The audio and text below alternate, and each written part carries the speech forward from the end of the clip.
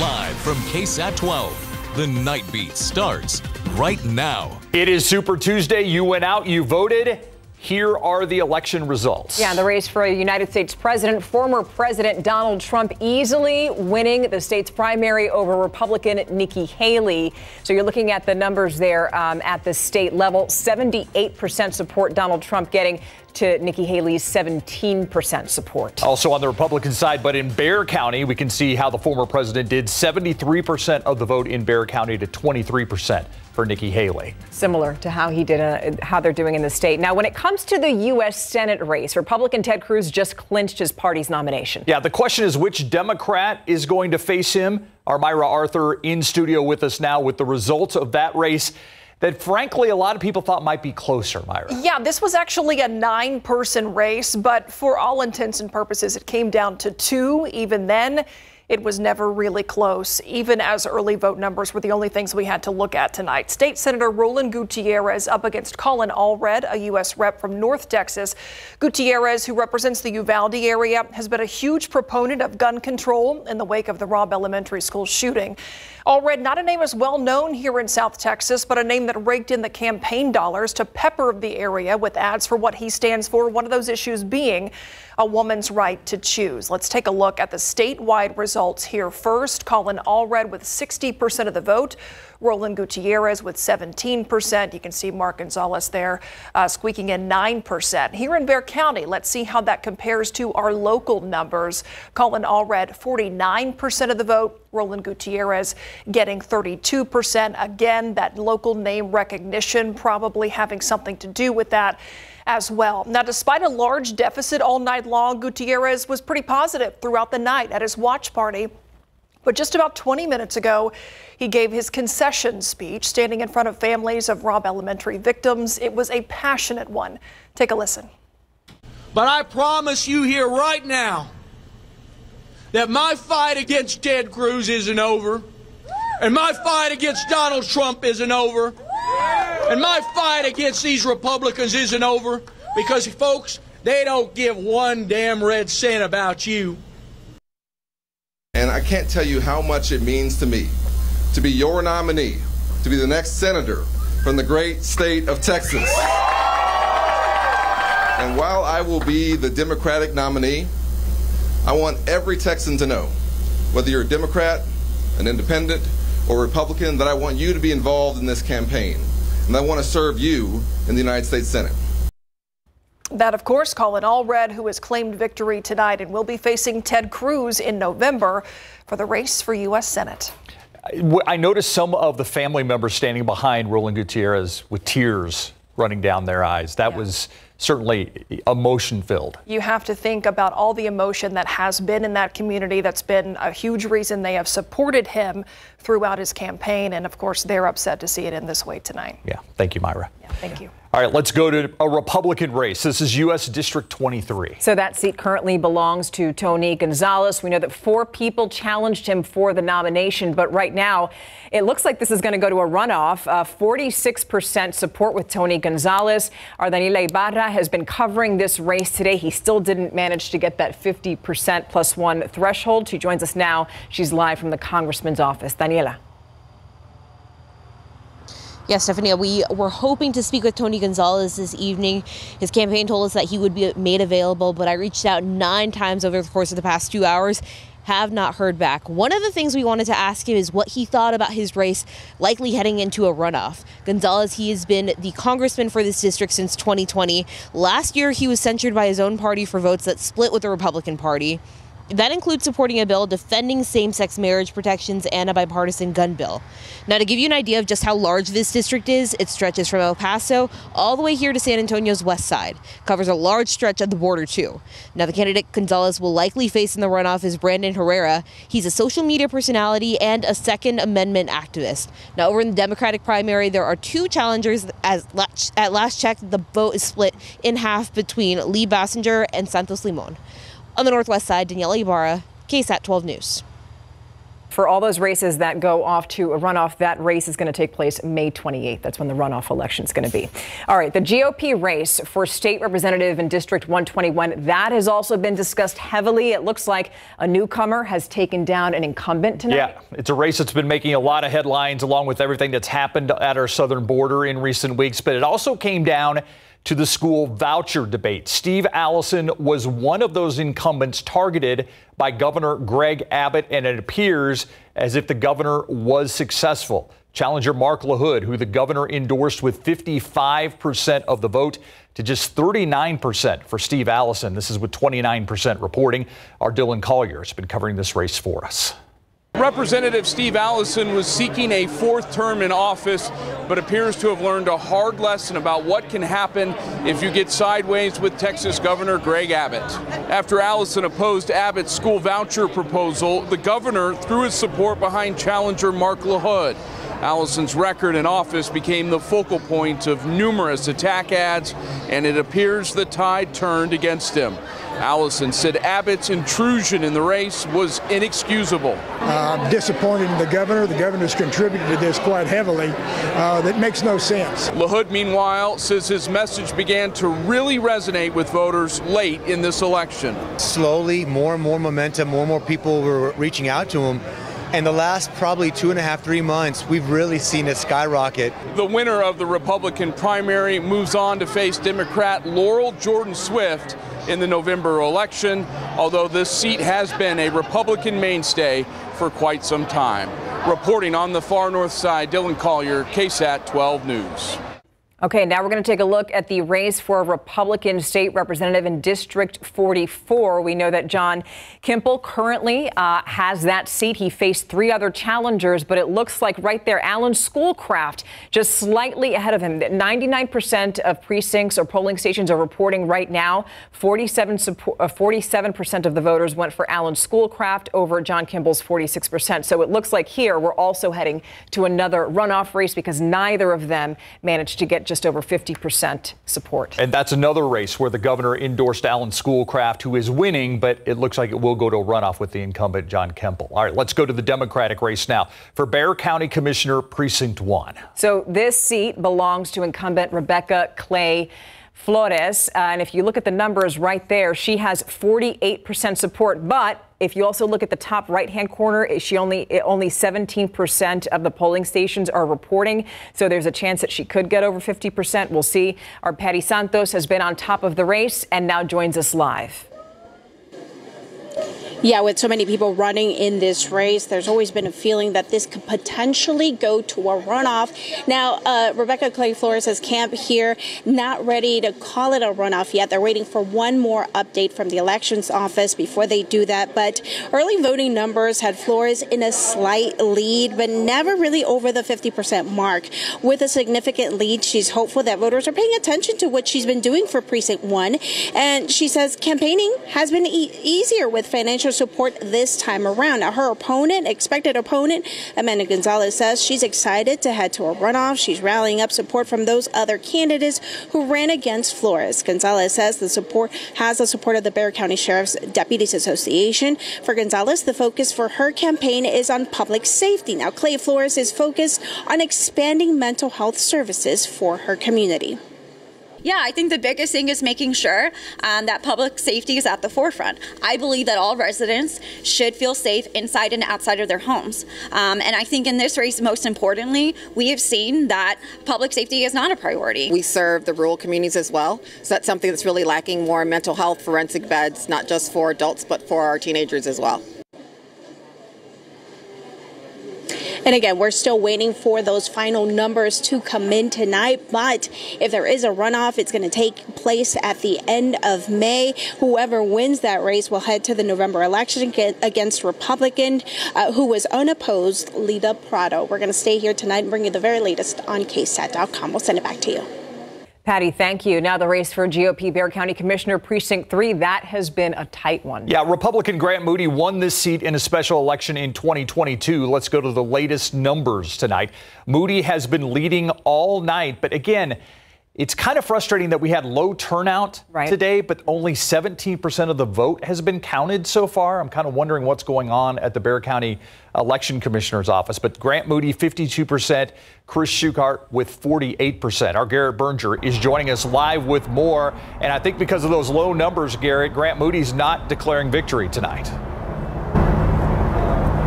That's correct, Steve.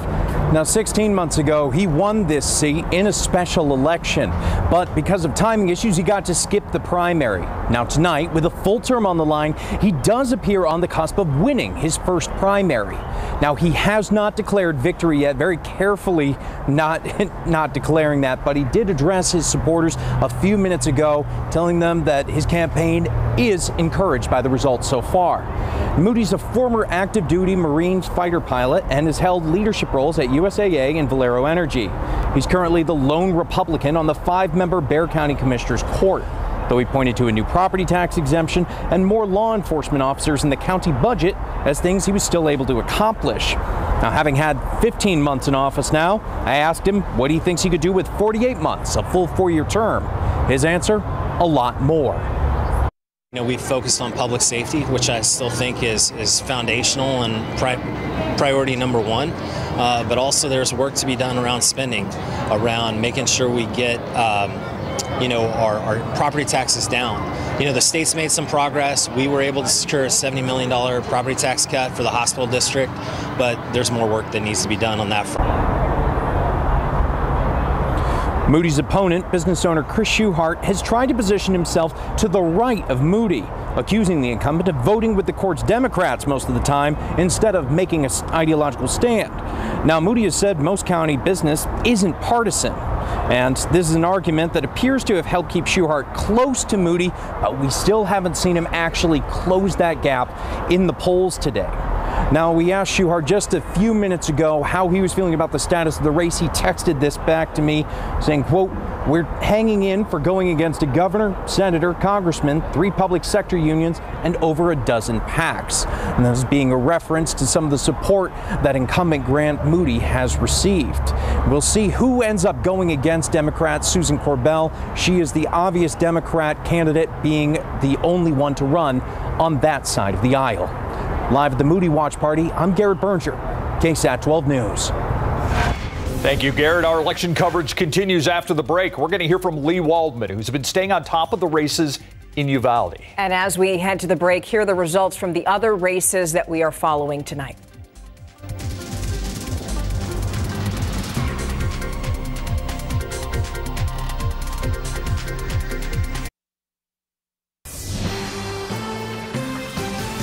Welcome back. In Uvalde, we have been following a handful of races. Some of them include law enforcement officers who were named in the Justice Department's report that looked at how first responders reacted during the Robb Elementary School shooting in May of 2022. Yeah, Leigh Waldman in Uvalde as those election numbers were unveiled outside Uvalde's newspaper.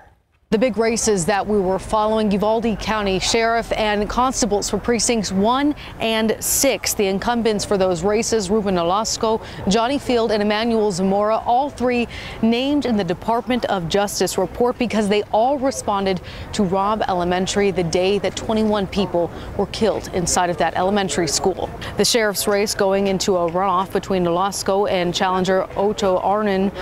Zamora will be keeping his constable precinct six seat overwhelmingly. But the surprise of Super Tuesday is the Constable Precinct 1 spot. Field will be unseated by challenger Max Dorflinger, who also responded to the Robb shooting, but for the Uvalde Police Department. The former mayor of Uvalde, Don McLaughlin, who is running for State Representative District 80, getting huge support here in Uvalde County. He'll easily be going to the November election against a Democratic challenger. We spoke to McLaughlin about what this means to him. What you see is what you get with me. I'm not afraid to speak out and call it like I see it. I'm going to fight hard for this district, whether whether you're Republican, Democrat, Independent. I don't care. It doesn't matter to me. I'm going to fight for the people of the district of District 80, and you know try to get things done in our district. We asked McLaughlin if he would still support raising the age to purchase a semi automatic rifle from 18 to 21, like he said when he was mayor here in Uvalde. He says he'll have to assess where things like mental health and violent video games are before he makes a decision on that vote. We know there is still some disappointment from the survivors, families, and victims' families of that Robb Elementary shooting because of how the sheriff's race is going and because of one of those constable races. But we know that their calls for accountability will not end here. In Uvalde, Leigh Waldman, KSAT 12 News. Thank you, Leigh. For a complete recap of the 2024 primary elections, head to ksat.com. A lot more races than we could cover in the time that we have here, but we've got it all on ksat.com. Just look for this article.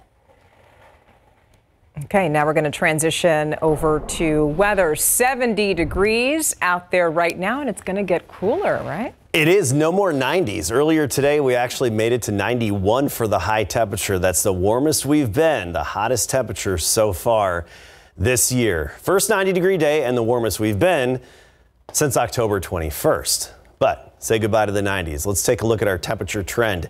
Tomorrow, back in the 80s, 84 for the high temperature, and then we drop into the upper 70s by Thursday and Friday. So that's still above average, but then watch what happens thereafter. This weekend, we're back to the 60s for afternoon high temperatures. So a big tumble in our temperatures. And with that, too, even a shot at rain coming our way. Now, notice tomorrow morning, sunrise about 7 a.m. We start the day in the upper 50s. That's upper 50s locally. A little bit cooler, low to mid 50s as you get into the hill country, even pushing 50 degrees. Kerrville and Comfort, those will be the coolest locations, whereas Floresville, right at 60. By the noon hour, we're up to 76, 84 for the high. Not too humid, another beautiful day, just not as hot as what we had earlier today. Again, the 90s are gone around San Antonio for the foreseeable future. But tomorrow afternoon, Cotulla, Carrizo Springs, Del Rio, the typically warmer locations, still pushing 90 degrees tomorrow afternoon. But Leon Springs 83, Elmendorf 85, Stone Oak 84 for the high temperature. Notice our big picture and the big pattern here. Severe weather off to our east today, southeastern U.S., parts of the Gulf Coast. Widespread rainfall, the kind of rain that we need. Our next hope for some rain is this little swirl in the Pacific that's west of San Francisco. That's headed our way. It's going to throw some upper level energy our way and combined with some instability to trigger some storms across Texas. Now, that's going to be late Thursday on into early Friday morning. It's not a slam dunk for us, but we'll be on kind of the tail end of the activity. But whatever does happen to develop really has the chance of becoming strong to severe, especially along and west of I 35 and even into the hill country, some scattered severe weather, a little bit more likely than what we'll have locally. About 40% coverage for that primary risks would be localized hail and localized wind gusts up to 60 miles per hour. That's our only shot at some rain and not everybody's going to get it. And I think the actual potential for accumulations on the low end. But look at the weekend. Mornings in the 40s, afternoons well into the 60s. Hey, the countdown's on. 34 days until the total solar eclipse. All right, thank you.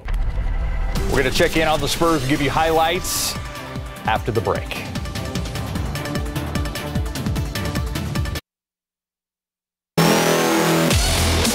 Wemby got the green light tonight to face the Houston Rockets, and he made an immediate impact by scoring the game's first five points. First quarter, Wembanyama blocks Alperen Sengun's shot. He grabs the defensive rebound, then he takes the ball back the other way, then drains a three-pointer over Sengun, and it's 5-0 Spurs. They led 26-21 after one. Early second quarter, Blake Wesley will dime a wide-open Wemby because his defender fell down for a slam dunk. Spurs led 53-47 at halftime. Wemby had 10 points and three blocks. Third quarter now play gets a little chippy. Amen Thompson and Jeremy Sochan collide while going for a rebound. Jeremy is down. Thompson gets tripped and falls as Jeremy runs back. The two collide. Of course, they go face to face. And that's really about it. Double technicals were called, and Jeremy was hit with a flagrant foul. One Spurs trailed 80 to 77 after three. Fourth quarter, well, the Rockets pull away behind Sengun, who scores two of his career high 45 right over Wemby. Victor was held scoreless in the second half, and the Rockets beat the Spurs 114 to 101, and Pop wasn't happy. it put us in mud. We didn't respond to it very well, and you got the outcome. So, uh, you know, young group needs to understand the road is a lot different than at home, and uh, it requires a little bit more mental toughness, and we didn't have that tonight. Spurs will head west to play the Kings Thursday night at 9. The Veterans Memorial Boys basketball team is one of two local squads who made it to the state tournament. The Patriots have a record of 40 and 1 and hope to make it 42 wins and get their first state title this weekend. This group of Pats has payback in mind after losing in the state semis last season to the eventual 5A state champs Dallas Kimball. And the players told us last year's loss is what's motivating them to win it all this year. We all made it our goal that we're gonna get back and we're gonna win it. Cause you know we was so close to getting it there, uh, getting it last year and winning it all. To advance the seniors from last year, we want to help get the job done and just bring one to the uh, San Antonio Veterans Memorial. We just didn't want how we felt last year to come through this year. So as we go into this game, we know we, we know we got some stuff to change, and uh, we plan to do that. We feel like we're the best team in state because we practice hard, because we play hard, because we trust each other. I think coach said it best. Um, it was kind of like a blur, but now at this stage we know what we have to do. We were in the same position last year. We know what it takes, so we just got to come out execute. The Patriots will face Killeen Ellison in the 5A state semis at 7 p.m. on Thursday at the Alamodome. Former Boerne Greyhound star athlete Quinten Dormady is one of three quarterbacks fighting to lead the San Antonio Brahmas this season. Last season, he played for the XFL Orlando Guardians, who did not make the cut when the XFL and the USFL formed the United Football League. We sent Mary Rominger to Brahmas training camp at Southlake Carroll High School, where she went one-on-one with Dormady. Quinten, one week of training camp in the books. How are you feeling up to this point? Feeling good. Um, you know, happy to be back out here, um, getting reps and working with the guys. Um, I think the progression's been good. Um, just you know, continue to work day by day and and uh, try to progress. Can you bring me back to the moment you were selected number one overall in the UFL second dispersal draft? What emotions went through your body at that time? Yeah, I mean, it was exciting, obviously. Um, you know, to get another chance after um, you know, my team last year, Orlando, didn't make the merger and stuff. Um, there was, you know, a period of time there where it was, um, there was some uncertainty. So um, to be able to get this chance with, with this group and this coaching staff um, is definitely special. And, um, you know, I take that, I don't take that lightly. So thank, thank you very much for your time, Quinten. Appreciate, Appreciate it. it. Thank you. Thank you, Mary. Thank you, Quinten. We'll have more about Dormady and the Brahmas tomorrow, and that is a wrap for sports. As we said, it's Super Tuesday. Our John Paul Barajas has been at election headquarters all day and most of the night long. That's right. He's been staying on top of voter turnout. And the story tonight in Bexar County is it a low or slow voter turnout? Behind me, election officials are counting up the votes, and as of 9:30, election officials tell us 78,238 people have come to the polls today, bringing the total number of registered voters in Bexar County who voted just under 15%. Here at election headquarters, we saw a small crowd this afternoon, but the line never exceeded 10 to 15 people. County Elections Administrator Jacque Callanen says after seeing issues with mail-in ballots a few weeks ago, today ran smoothly. Adds today they've seen at least 10 sites that only saw about 50 voters, while they had five sites that saw over a thousand people. And back out here, the voting counting continues, and it's going to be a long night for the people behind the glass. Again, they told us they've seen over 78,000 people who came to polls just today. And to compare, on Super Tuesday in Bexar County in 2020, they counted 113,650. Election officials say numbers online might be trying to catch up, and that's why some people might be seeing a difference at this moment in time. John Paul Barajas, KSAT 12 News. There are a lot of races tonight. Just a reminder for a complete recap of the 2024 primary elections, just head to ksat.com. Look for this article that you see there on your screen, and we'll be right back after this.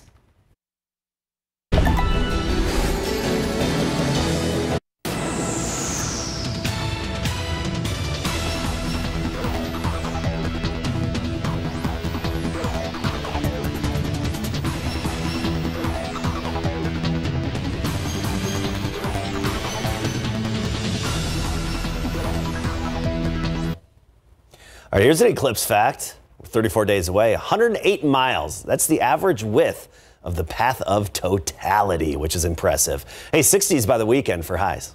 Okay. Thank you so much for joining us. Have a great night. We'll see you tomorrow. Good night.